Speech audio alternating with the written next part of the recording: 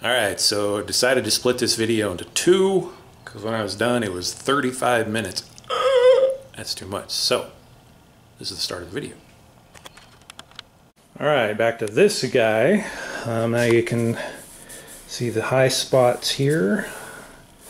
Um, that there, that dent there now became a high spot, so I got to tap this down. Um, everything else looks pretty okay. Uh, so this is 80. Like I said, I have uh, some, what is this? 180, I think, here to go uh, hit the rest of these. And then we'll tap these down, and then we'll go over it again in all the places where the high spots were. Put filler on those because those should hopefully be low spots now, as you can see. I'll hit it again. Try to keep you out of the fan here. Sorry for the noise. It's hot in here. 180.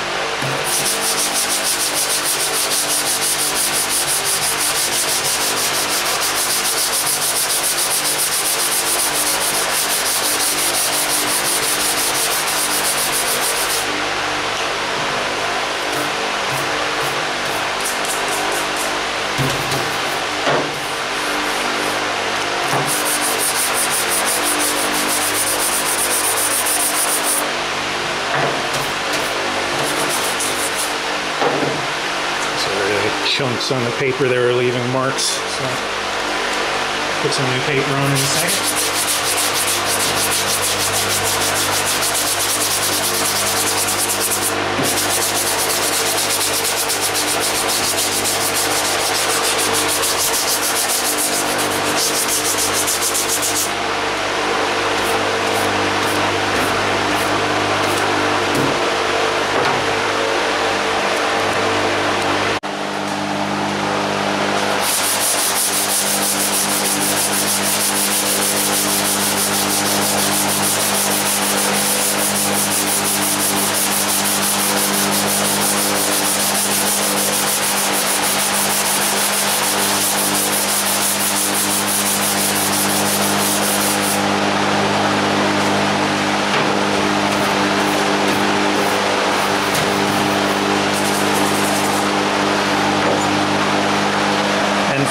a second. for those that question how well epoxy sands, this is day old DPLV epoxy, and you see it sands really nice considering, I mean, it, it gums up a little bit, right? But that's to be expected since it's only a day old, but it sands really nice. Even that. I mean, because that's functional, that's not just decorative, right? Right, right. Pops and I were just, man, that's still too high. Um, we're just talking about how how you can dress up an LS versus the uh, like small blocks and stuff back in the day. I said there was a lot of things you can do, but it, there's some differences between the two.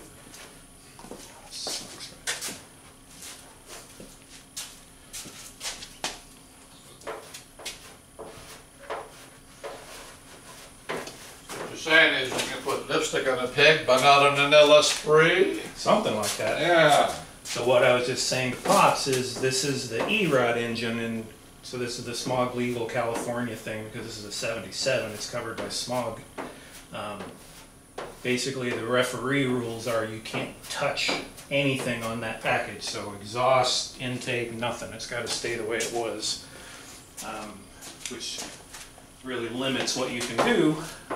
Um, so the, the plan of attack for this one is we'll get it smogged and then we'll see, you know, after the fact, you know, can I just like swap out the exhaust manifolds or somewhere? It's like really not functionally changing anything.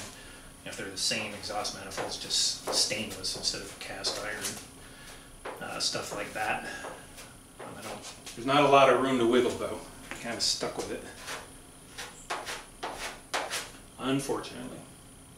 So we were just talking about the valve covers, how on an LS, you got the coil packs on top of the valve cover, so it doesn't really look as clean. Um, they do have coil relocation packs though, Dad. So you can move the coils somewhere else, hide them or something. All right, did I miss anything? Uh, let me take a look. Spot right here. I don't know, these are cat paw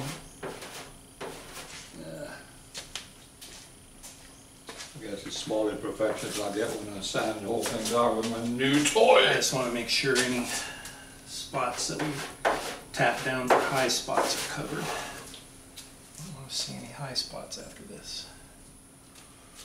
I think we got them all. I wanna see if I can tap this spot down real quick, if it's still too high. Before, This guy? this, this is too high right here. That's the spot I pulled up. Now it's too high. That angle looks good now. That looks better.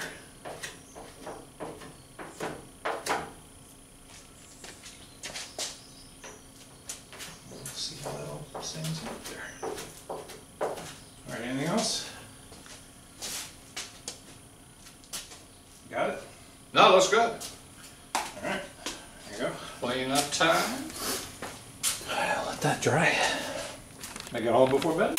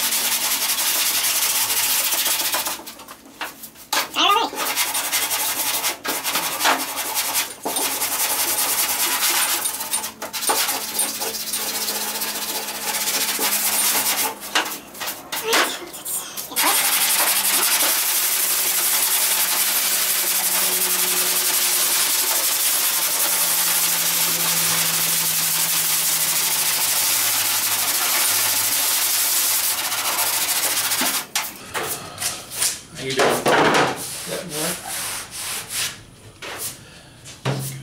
I'm to switch to 180 here. What?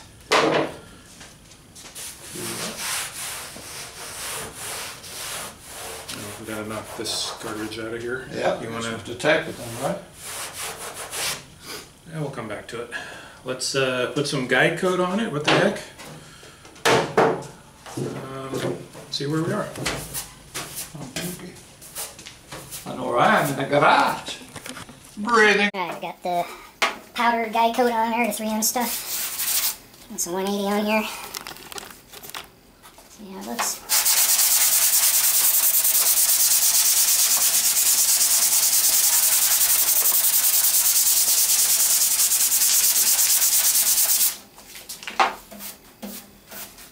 There's that big high spot.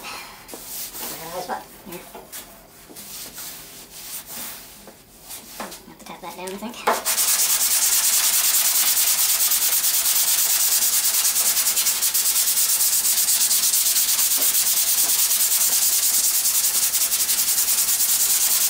We're out in a 180. It's in a box right, right next to you. In a box. In a oh, box. Double box.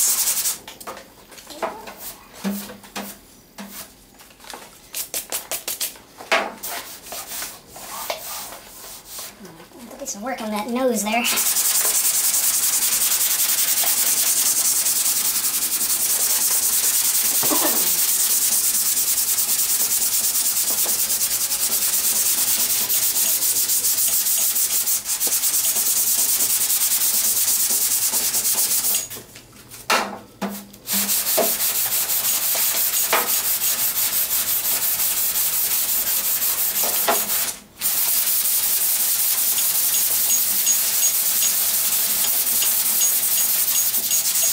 And just put it on close. Yeah.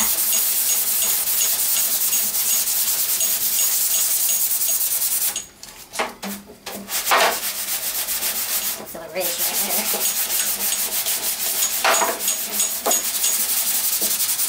That's not on that.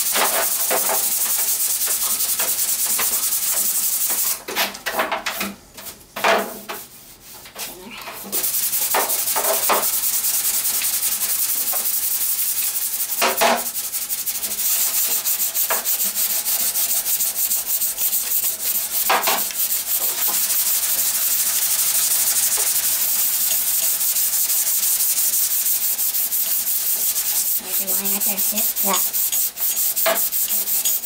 This one too. We were just talking about making sure when we're sanding here, not to sand over the center line. Try and keep it as pristine as we can. So there's the line right there. It shows up in the camera. Look at this. Is the high spot over here. Okay. Over there.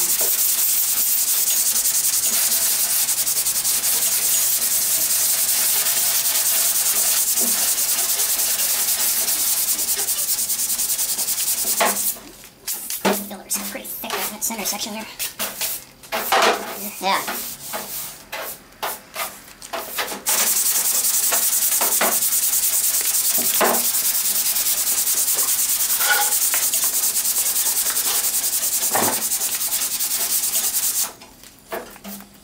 want to go back to 80 for that. I think I will. All right, I'll show you where we are. So, so I have a high spot there, a little bit of a ridge here. You can't feel that, but I'm still going to tap it down a little bit just so it doesn't keep poking up on me. Uh, this spot that we started with over here, that original dent, should have just left that alone. Because pulled that out, became a high spot. Then when I tapped it down, the whole thing cratered. Now I have big low spot there, if you can see that. So that would have been better just to leave alone. I think this is okay over here. Um, I'll probably just tap any place I see metal sticking through here. I'm going to tap it down a little bit. Show you that. All right, so it should be said here, in case anyone was wondering. No, I have no experience in body work, so I could be doing this completely wrong. All right, so I'm just to tap this down a little.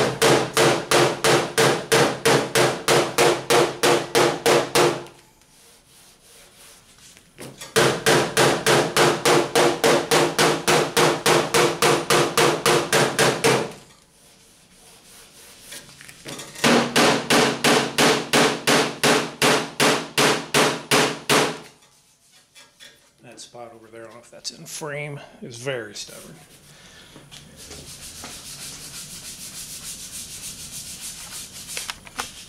All right, I don't have a lot of space left on the camera for some reason that I don't understand, but whatever. Um, so we put a nice big wipe of filler on here and the other spots that were uh, a little, oh man, I forgot this spot.